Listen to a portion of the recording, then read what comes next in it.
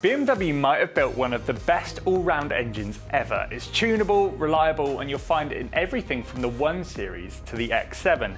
This thing can fit in a hatchback and power one of the monstrous SUVs that BMW seem to love making. Some people are even comparing it to the famous Toyota 2JZ, an engine well known for its ridiculous reliability and ability to withstand serious power. Oh, and it was in the Mark IV Supra, which according to the internet can do no wrong. So why is this being compared to one of the most iconic engines ever? And what engineering makes this thing so popular? Let's get into it. So the 2JZ, the engine from that car that was in the movie franchise that so many of us love, and this B58 engine in the new 1 Series, what makes them so similar? The basic similarities are that they're both inline sixes, they're both 3 litres, and they're both turbocharged. Despite coming from different manufacturers, you'll also find both engines in a Supra. Toyota controversially turned to BMW to develop the new inline six for the fifth generation of the Supra after an almost 20 year wait. Toyota got a load of stick for not making their own engine from scratch, but when it comes to straight sixes, BMW is a pretty good choice. A lot of the comparisons to the 2JZ have come from the B58's ridiculous tunability. Video games, movies, and the internet have given the old Supra a reputation for being insanely over-engineered and endlessly tunable, and any MX-5 owner will tell you that not all cars come tunable from the factory. If you stick a big single turbo in the engine bay and do nothing else, you're going to have pistons and valves jumping through the bonnet by the end of the street. And this is one of the reasons that the B58 is being compared to it as it's proving to be a tuner's dream. For a start, the version of the engine in the Supra is rated at 335 brake horsepower by Toyota, but independent dyno runs have shown that it actually makes around 370 brake horsepower. That's similar to the old one as well, seeing as the original claim was 276 brake horsepower because of some gentleman's agreement, but it's well known that they're easily pushing out over 300 brake horsepower. And in case that's not enough for you, then around 500 brake horsepower is easily attainable with a few bolt-on breathing modifications and a remap. These engines are even pushed to over 700 brake horsepower without touching the bottom end. And that's mad, 17 year olds all over the country could be taking a pretty normal 1 Series adding an intake and exhaust and maybe a turbo, and they're getting towards 500 horsepower. So what makes it so strong and so tunable? The bottom end is a good place to start, and it's the part of the engine under the most stress and with the most movement going on. You can put as much power and torque through any engine you want, but if your rods have been skipping leg day, then they'll be departing the block and making a swift ascent to the stratosphere. Trust me on this, you don't want a hole in your bottom end.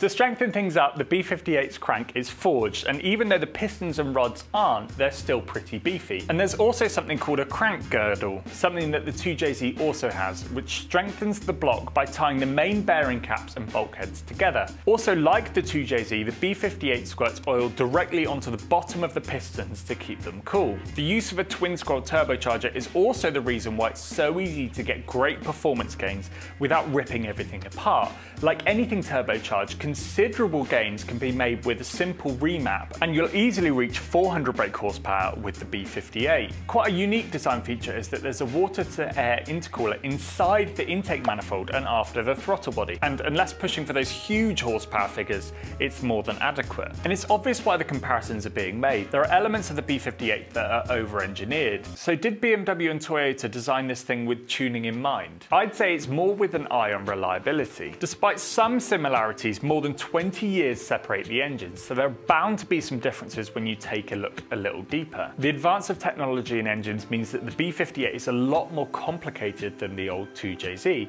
Electronics control and monitor things like the throttle, the intake cam lift, and even the thermostat. The B58 is also chain driven rather than belt driven, and it uses a single turbocharger rather than a twin turbo. And the 2JZ was actually a really heavy engine, weighing in at around 200 kilograms because of its cast iron block. The B58 on the other hand uses the cast aluminium block and weighs under 140 kilos. It's a modern engine, so it also uses a lot of plastic parts like the intake manifold and even the cam cover. The old engine has been around a lot longer, so there's a good gauge of how reliable it is compared to the B58, which has only been around for about five years or so. So the 2JZ has rightfully gained a reputation for being bulletproof. Whether it's keeping it standard or pushing it up over 800 brake horsepower without cracking open the engine, It's been tested in pretty much every way possible. That also means that a lot of people have been working on these engines for years and know them inside out. Any kind of failure has already happened and been learned from. That's then helped by the colossal catalogue of aftermarket parts available to squeeze more power out of it. It's almost unfair really to compare the BMW engine just yet. Despite proving to be overall reliable and tunable so far, will all those parts be able to do it for thousands of miles and years of abuse?